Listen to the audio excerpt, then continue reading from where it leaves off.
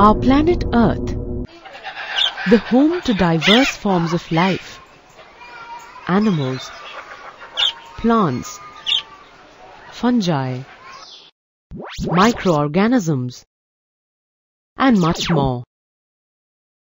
30 million species inhabit the biosphere, ranging from microscopic bacteria to blue whales. Do we know them all? Have we given them names? Is there a systematic way of studying them? In this lesson, you will learn about the classifications of living organisms. By the end of this lesson, you will be able to explain the history of the classification of living organisms, describe organisms using the five kingdom classification system, use the hierarchical classification system to further classify organisms into subgroups and explain the names of organisms using binomial nomenclature. Organisms differ in form, structure and mode of living. So, they need to be grouped according to their similarities. The grouping of related organisms helps to study evolutionary relationships and to identify them.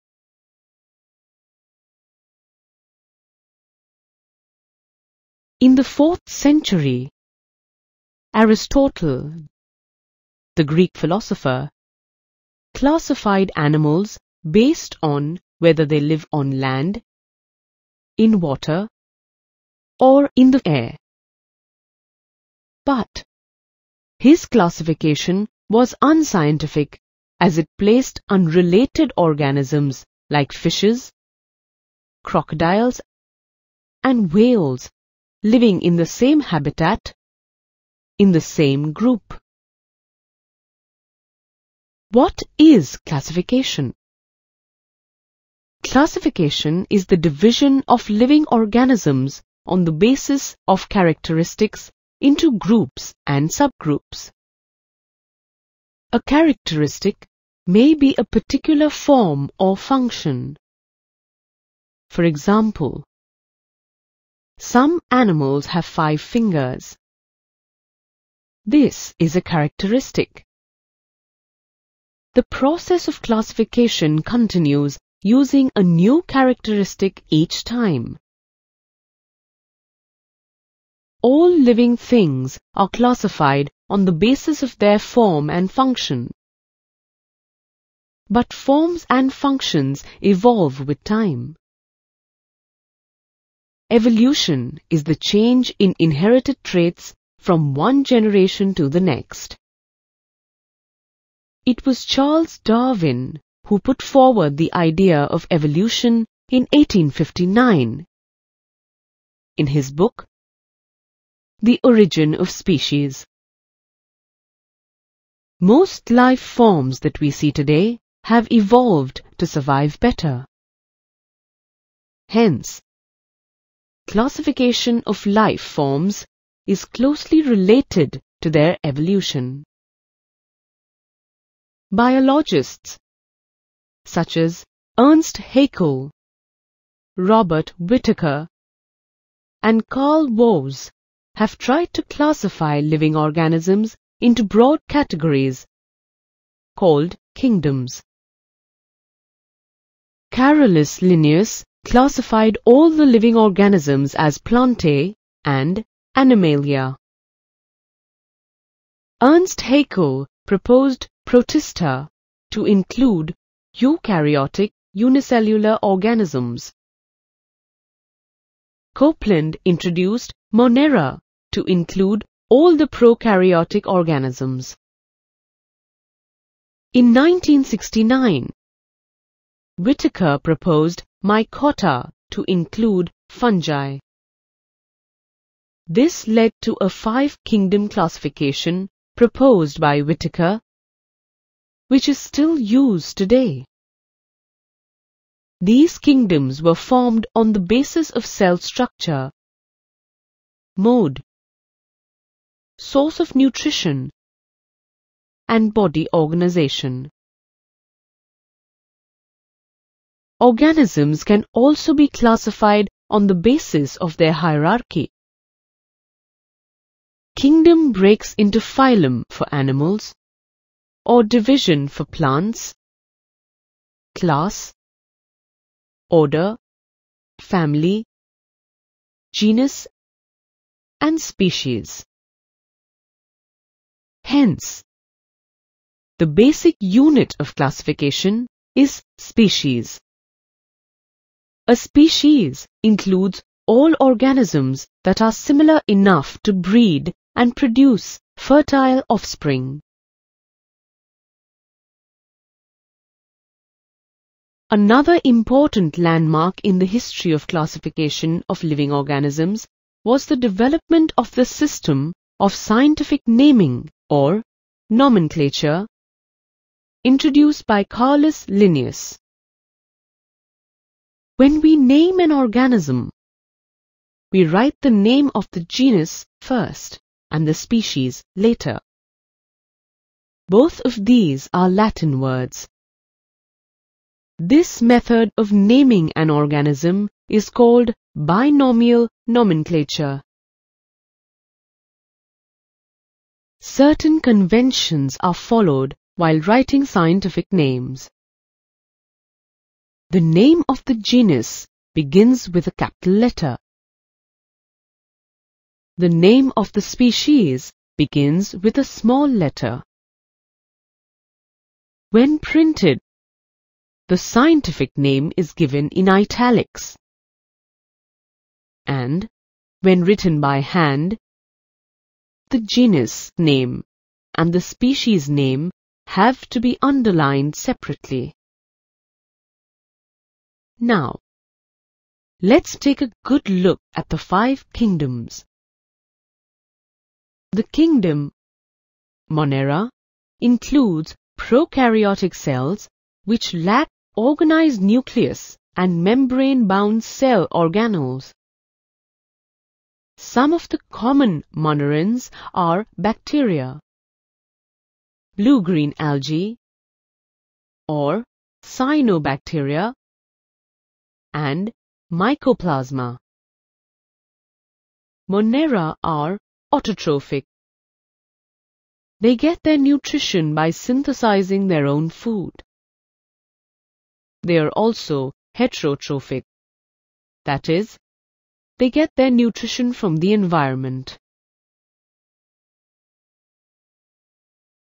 Members of the kingdom Protista are algae diatoms, and protozoans.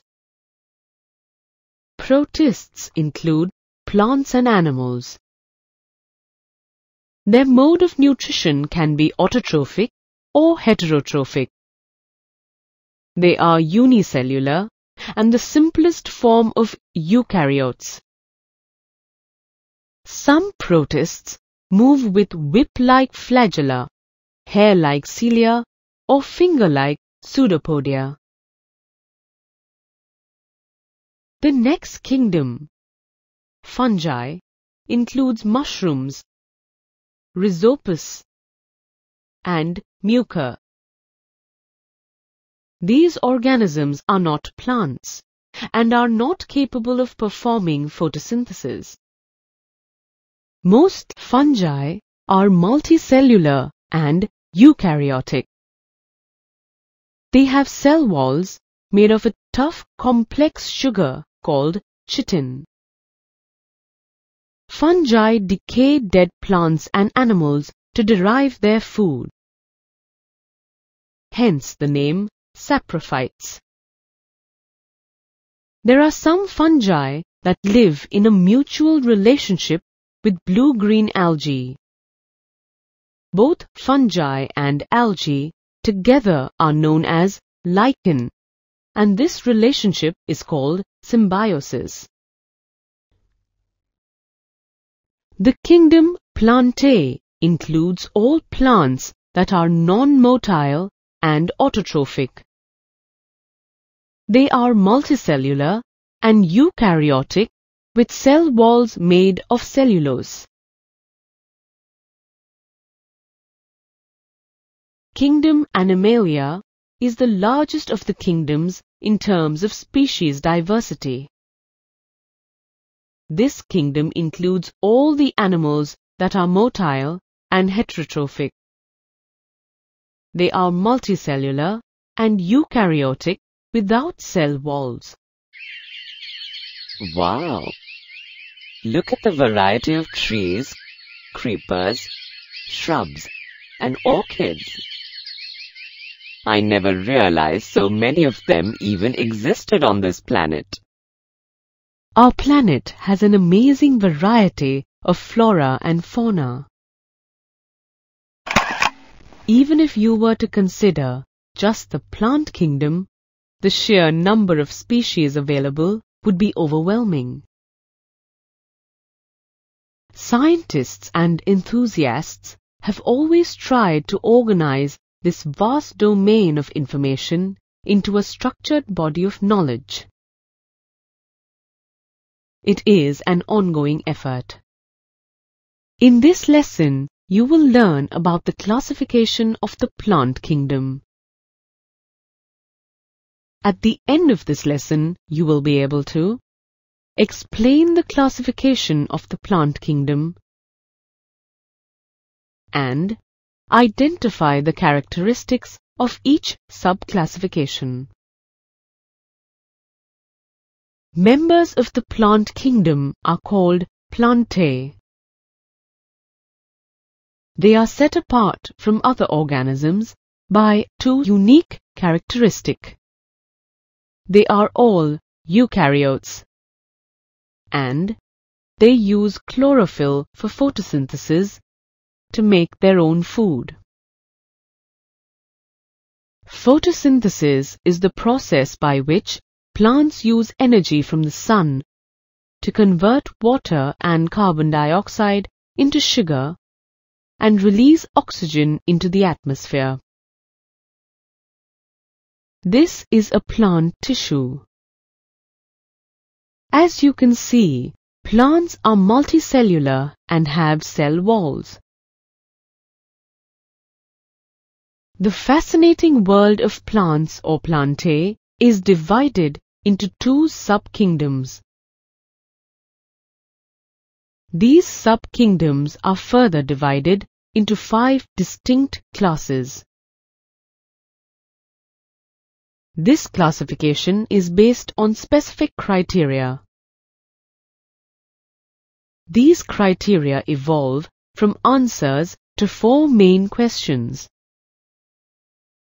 1. Does the plant have distinct parts like stem, roots and leaves? 2. Do these parts have tissues that transport food and water? 3. Does the plant bear naked seeds? 4. Are these seeds enclosed in fruits? Now, let's look at this classification in detail. In 1883, Eichler classified the plant kingdom into two sub-kingdoms, Cryptogamae and phanerogamae.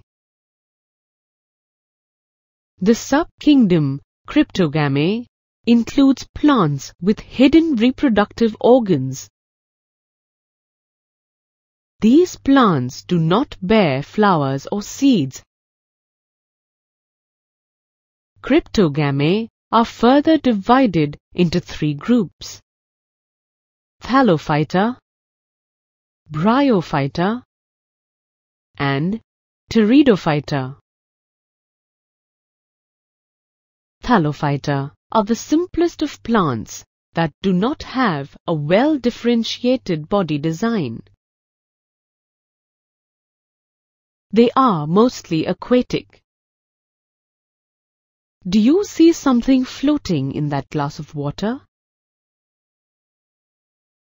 That's algae. As you can see, algae do not have leaves, stems, or roots. Algae can be single as well as multi-celled organisms. They are autotrophic in nutrition. Algae belong to the group Thallophyta. Chlamydomonas, Spirogyra, Ulothrix, Cladophora, and Chara are all examples of algae that are included in Thallophyta. Let's move on to the next group.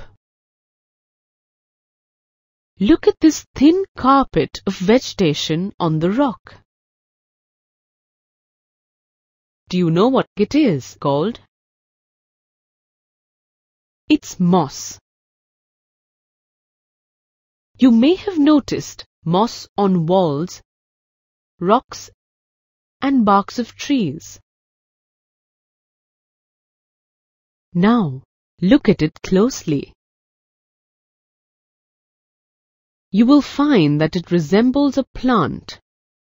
That is, it displays a stem and leafy structure.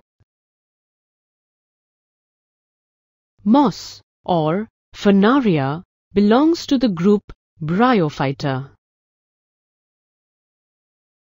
Bryophytes are often called amphibians of the plant kingdom as they require both aquatic and terrestrial conditions for the completion of their life cycle. Their body is differentiated to form stem and leaf-like structures, but not true leaves and roots. Vascular tissues, which are special tissues for the transportation of nutrients and water, are also absent in bryophytes. Bryophytes include Riccia and Marchantia.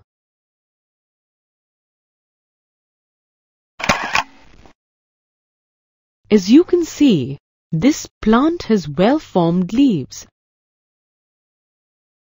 What do you think it is? A thallophyte or a bryophyte? Well, actually, it belongs to neither of the two groups. This plant is a fern, and it belongs to the third group under Cryptogamae. This third group is known as Pteridophyta. Horse tails and Marsilea are also pteridophytes. Unlike thallophytes and bryophytes, the plant body of pteridophytes is differentiated into stem, leaves, and roots. They also have vascular tissues to conduct water and food to the different parts of the plant. Like thallophytes and bryophytes, these plants also have naked embryos in the form of spores underneath the leaf. What's that? A ripe tomato? Tomatoes have a lot of seeds inside them. Seeds are the result of the reproductive process. This makes the tomato a phanerogam. All plants that develop seeds and have well-formed stem, leaves and roots belong to the subkingdom Phanerogamae. Phanerogams contain embryo along with stored food that helps the embryo to germinate. Based on whether the seeds are naked or enclosed in fruits, phanerogams are further classified into gymnosperms and angiosperms. Here are some nice green gymnosperms. Wondering what I'm talking about? These deodars. They must be really very old, but they look so fresh and young. But why shouldn't they? They are evergreen pines. Pinus, cycas, and other coniferous trees are also gymnosperms. Gymnosperms get their name from two Greek words, gymno meaning naked and sperma meaning seed. As you can guess from the name, gymnosperms bear naked seeds and are usually perennial and woody. The opposite of gymno in Greek is angio, meaning covered. Hence the word angiosperm means covered seed. And that brings us to the second class of phanerogams. Angiosperms are highly evolved plants with flowers, fruits, and seeds. They are also called flowering plants. Let's look at angiosperms in a little more detail. The flowers in angiosperms develop into fruits with seeds in them. Embryos in these seeds have seed leaves called cotyledons. These cotyledons supply food to the growing embryos when the seeds germinate. Angiosperms are divided into two groups based on the number of cotyledons they have. Plants with seeds having a single cotyledon are called monocots, and those having two cotyledons are called dicots. Let's look at some other differences between monocots and dicots. We will use a corn seed as an example of monocot and a bean as a dicot. Examining the parts of the corn seed and the corn plants, you can see that the corn seed is a single whole seed. On the other hand, the bean can be split into two parts. That's because the corn seed is a monocot and the bean is a dicot. The manner in which they grow and spread their roots is also very different. In fact, as you can see, the leaves of the monocot and dicot plants differ from each other as well.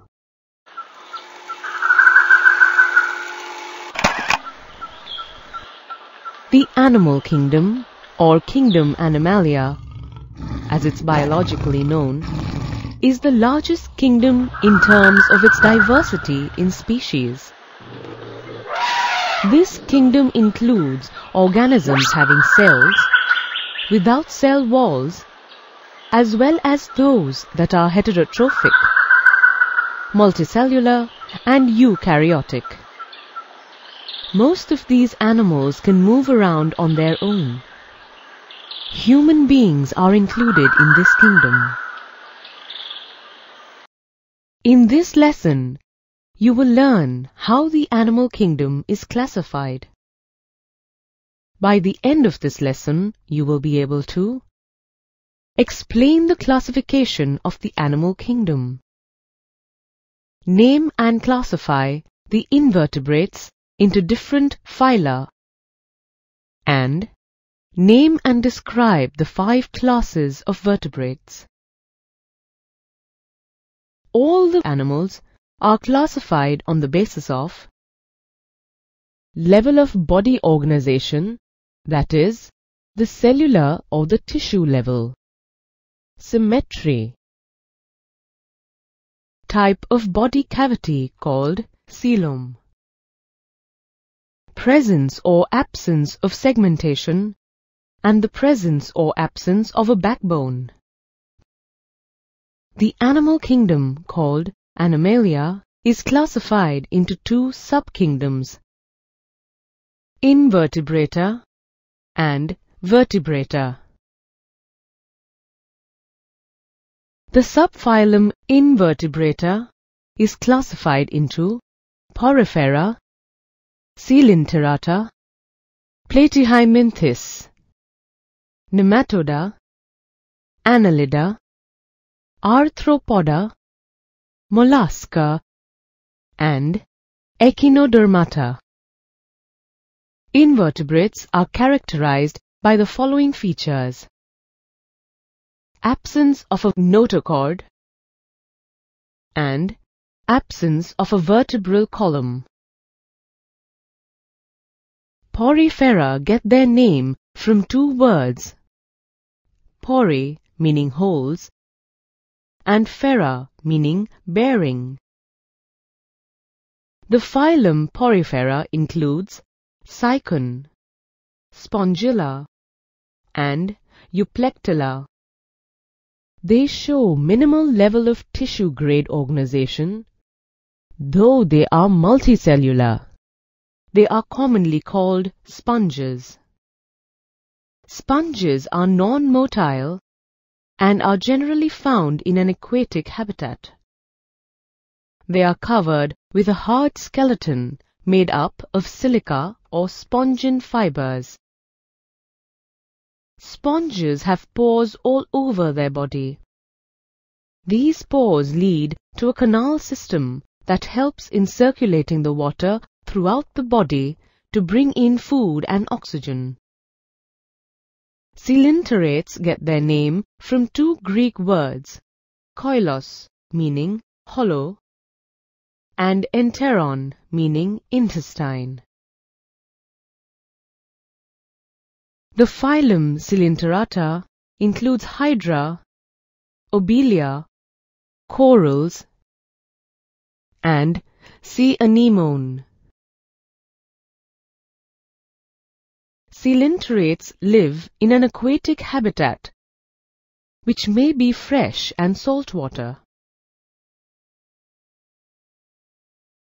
Corals belong to this group and live in colonies, while hydra live in solitude. Their bodies are radially symmetrical, meaning that all the halves of the body have the same design. Their bodies have outer and inner layers, which enclose a central cavity called gastrovascular cavity. In Hydra, locomotion occurs with the help of finger-like processes called tentacles.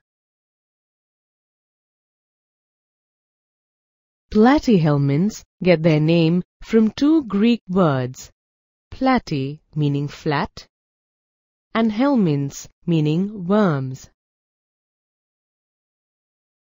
The phylum Platyhelminths includes tapeworm and liver fluke. Platyhelminths are either free-living or parasitic. Free-living animals include planaria and parasitic animals include liver flukes. Their bodies are dorsoventrally flat and ribbon-like, and they are hence called flatworms. Their bodies are bilaterally symmetrical, meaning that the left and the right halves of the bodies have the same design. Their bodies have three layers of cells that form differentiated tissue This is why they are called triploblastic animals. flat worms have no body cavity, hence called acoelomates. They lack respiratory and circulatory systems.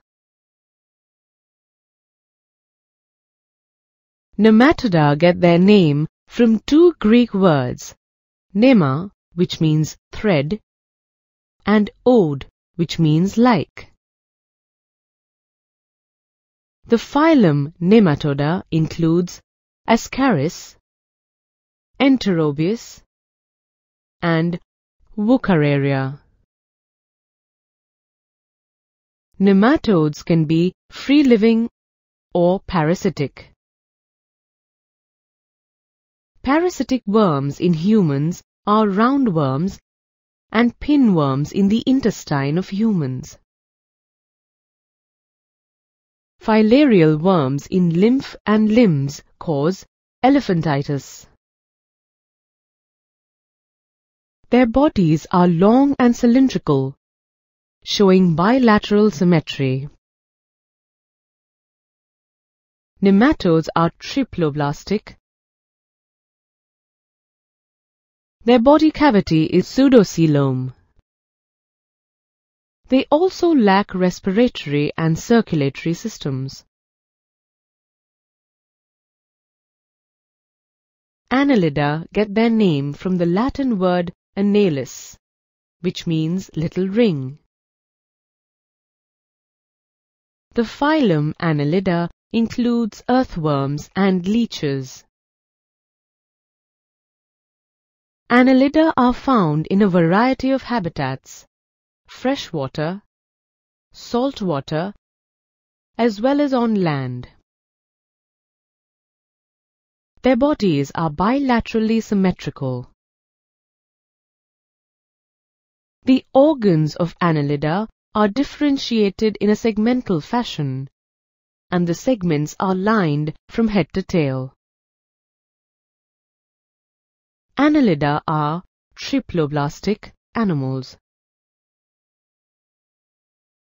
Annelida have a true body cavity called coelom. Annelids are characterized by the presence of a circulatory system.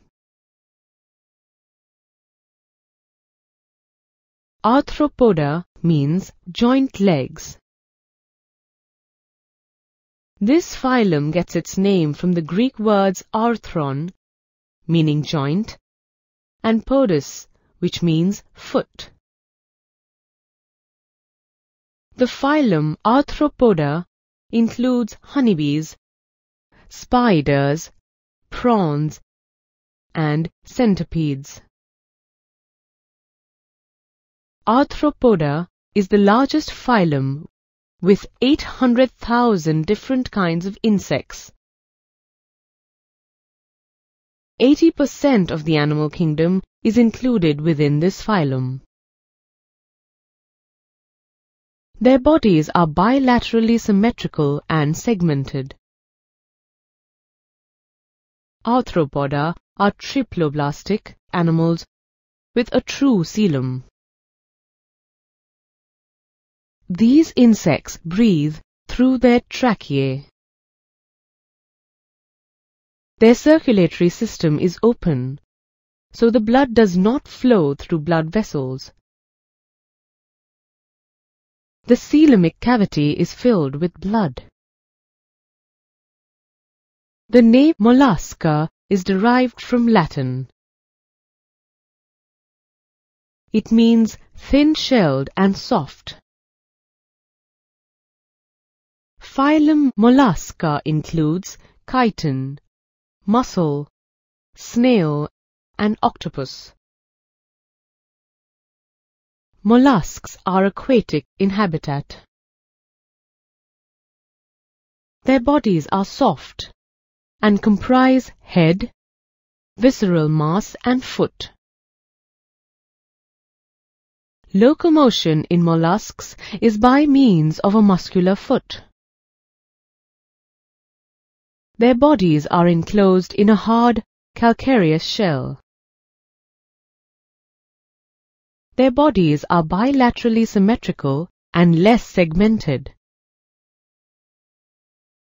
Mollusks are triploblastic animals with a reduced coelomic cavity. Water mollusks breathe through gills, while land mollusks have lungs and their circulatory systems are open.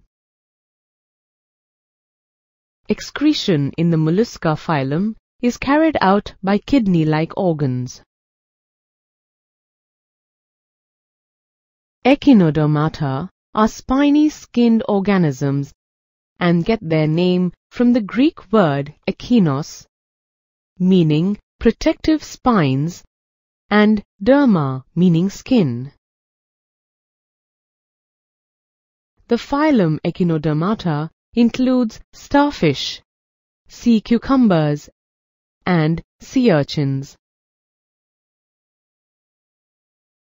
Echinoderms are exclusively free-living and they are marine animals.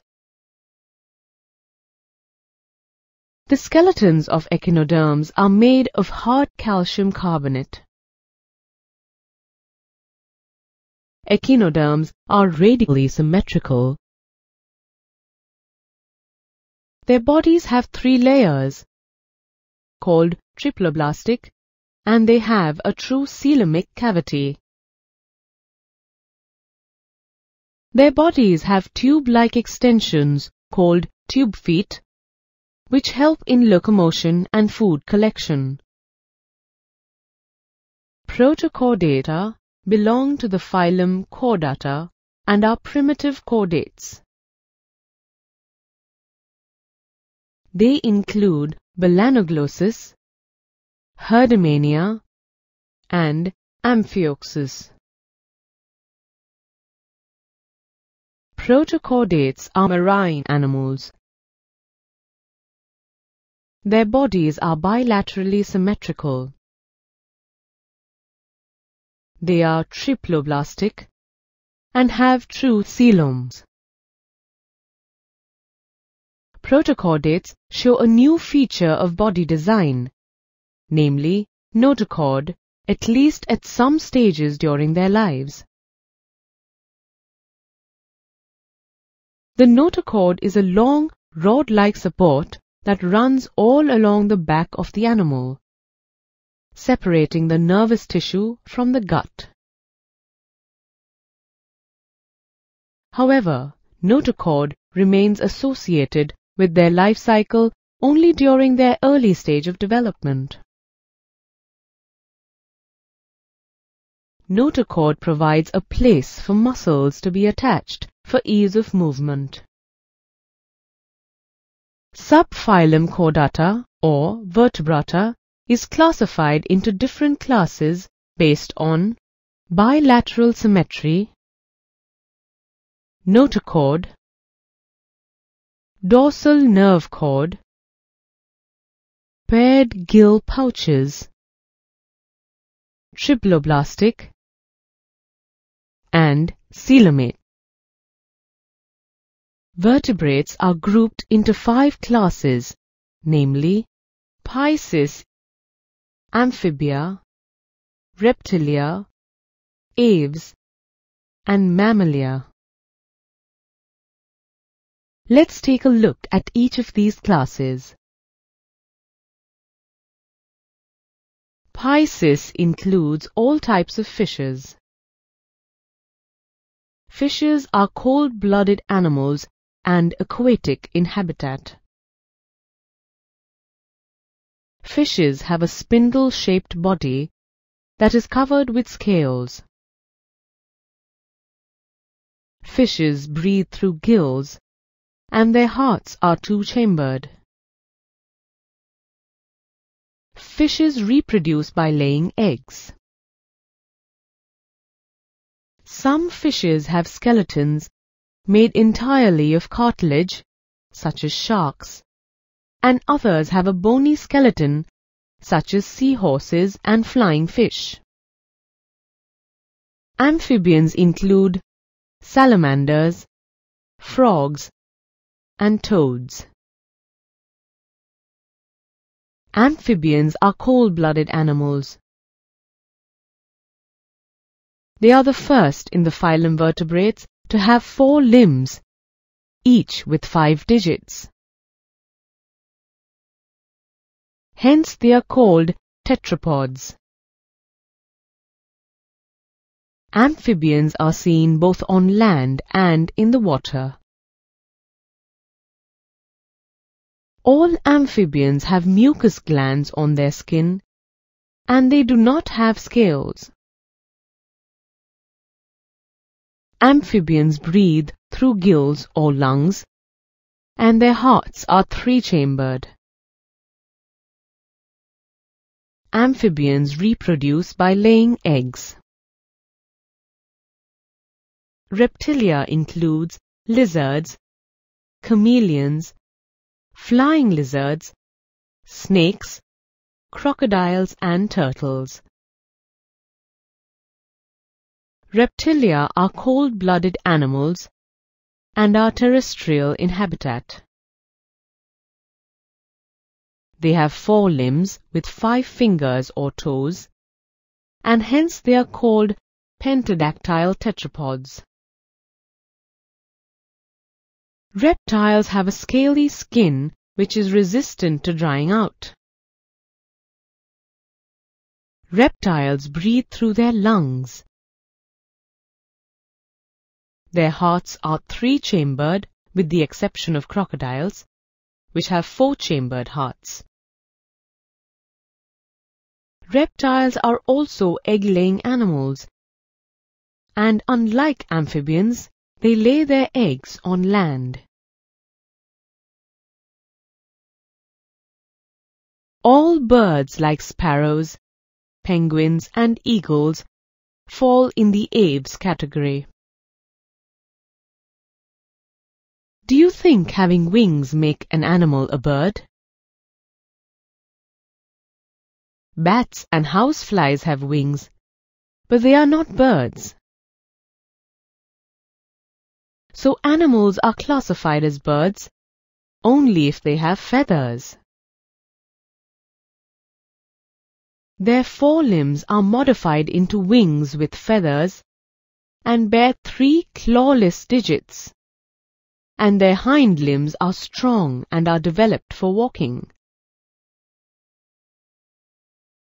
Birds are warm-blooded animals and are arboreal in habitat.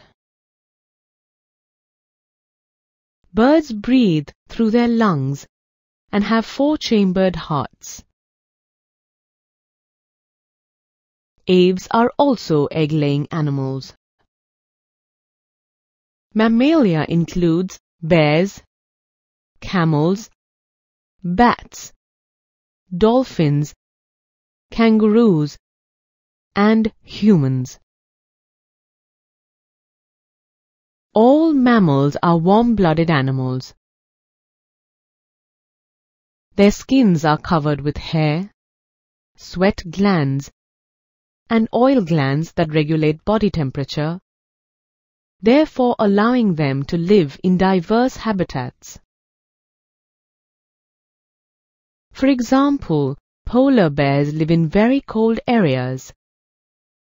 Camels live in hot areas and dolphins live in the ocean. Mammals have milk-producing glands called mammary glands to nourish their young ones. Mammals breathe through their lungs and their hearts are four-chambered. Mammals give birth to young ones through different modes. Mammals like platypus lay eggs. Mammals like kangaroos give birth to underdeveloped young ones that are carried in their mother's abdominal pouch. Mammals like humans, elephants, and lions produce live offspring.